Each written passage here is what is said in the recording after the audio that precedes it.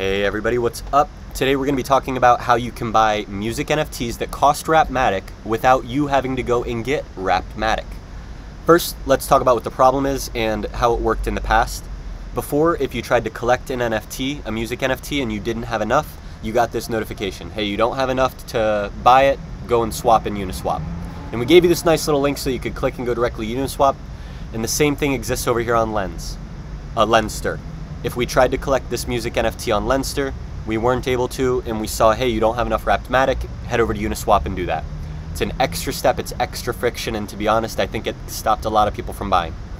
Now, if you're on Beats and you want to collect, but you don't have any Wrapmatic, when you click collect, we check if you have a sufficient balance in Matic, and if you do have a sufficient balance in Matic, what we do is we do the, the same two transactions as normal. First, you do a signature that doesn't cost any gas, then you'll get an actual transaction based signature. And once we sign that second one, I'll explain the magic. And so you'll see here, if MetaMask loads, that we are doing a collect with SIG, normal in the Lens ecosystem. And this time we're paying in Matic. We're sending 7 Matic instead of 7 wrapped Matic. And so when we confirm this, what happens behind the scenes is we built a new smart contract that wraps the entire Lens protocol and makes it so that when you want to buy and you don't have any wrapped Matic, we wrap the Matic for you in the same transaction as well as buying the Lens, it'll collect the Lens NFT in the same transaction. So let's see if we can open up the transaction and see what just happened. Come on, MetaMask. Alright, MetaMask is slowly getting its stuff together.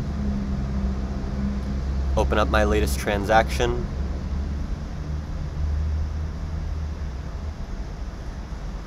We'll open it up in a block explorer. And so here we can see a transaction that finished 40 seconds ago. And I've got my NFT. The post was sent to me as well as seven wrapped Matic was sent to the musician. And so I paid seven Matic. We automatically in our smart contract wrapped that Matic and then sent that wrapped Matic from my wallet over to uh, the musician, and then I received the post without ever needing to do any wrapping of Matic outside. In one single transaction, we wrapped the Matic, we sent the wrapped Matic to the musician, and we minted the post on Lens.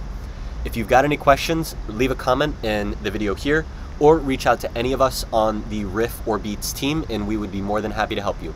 Our goal at Riff is to help reinforce the idea that music is social and to make it easier for collectors and musicians to interact in the music NFT ecosystem that is flourishing in Lens. Thank you for tuning in. This is Sweets, signing off.